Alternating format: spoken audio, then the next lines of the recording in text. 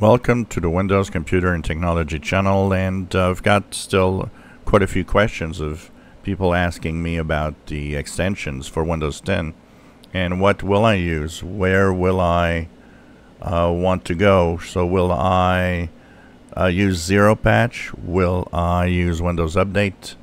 Um, first of all, it will depend to me on the pricing, which means that the price that the updates are going to cost will tell me which one to use.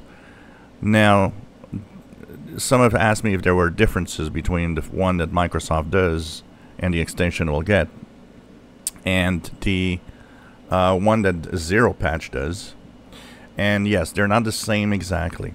Zero Patch actually concentrates itself on what is the most important patches in the operating system. So there might be some, you know, um, we have different levels of, of updates. We have important, critical, we have moderate, and we have low. Well, they might not focus on the low end or moderate.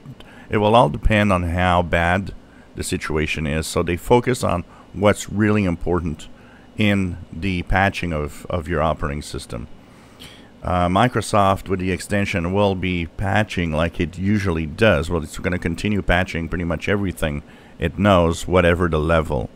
So it's not exactly the same, but overall, um, after years of zero patch updates and all of that, we can see that yeah, it's it's fine.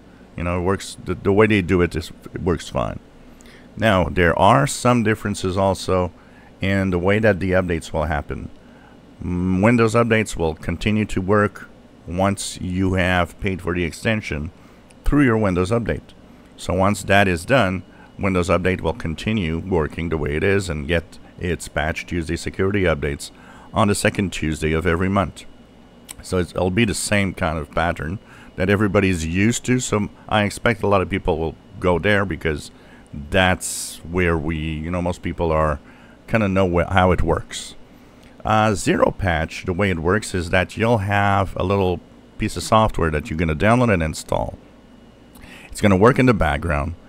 And instead of showing up through Windows Update, actually, it's micro patches that will be sent out and pushed for Windows through that little piece of software.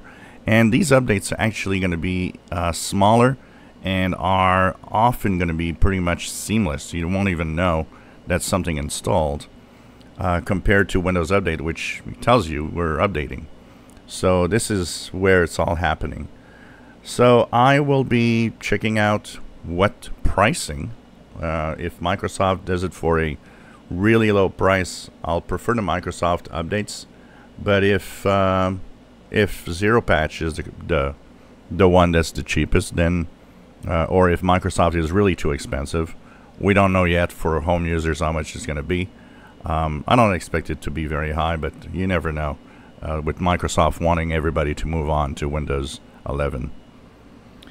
If you enjoy my videos, please subscribe, give us thumbs up. Thank you for watching.